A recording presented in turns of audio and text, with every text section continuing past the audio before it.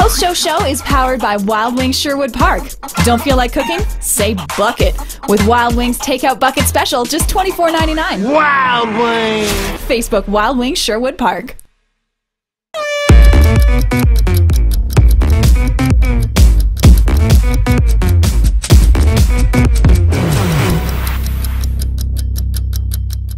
And welcome to another edition of the Nielsen and Fraser Poster Show. I am Dustin Nielsen. I'm Will Fraser. And it's brought to you by Wild Wing in Sherwood Park. Well, there it is, Will.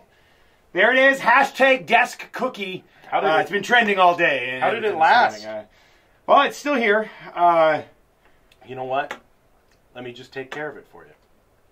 oh, you you want to eat the desk cookie? You know what? It seems to be really stressing you out.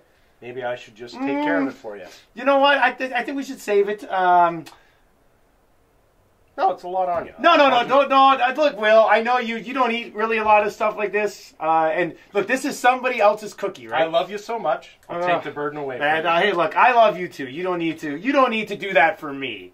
You you don't need to do that for me. We come in the studio today, and this cookie is laying here on the on the back. Please don't touch it. it's just laying here, and it was like it was laid there for them to be like, yeah, eat this. yeah. But it's not our cookie. We don't even know whose cookie it is. I mean, Millard probably left it for us. Yeah. But hashtag desk cookie became a huge thing on our radio program today as well.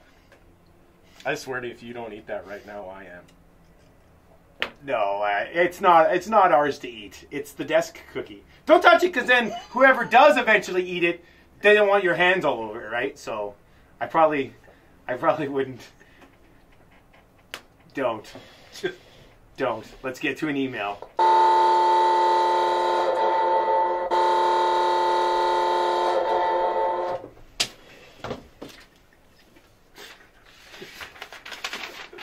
Hey guys, you can take that cookie and stick it up your.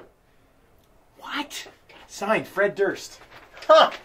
That's not very nice. He did it all for the cookie.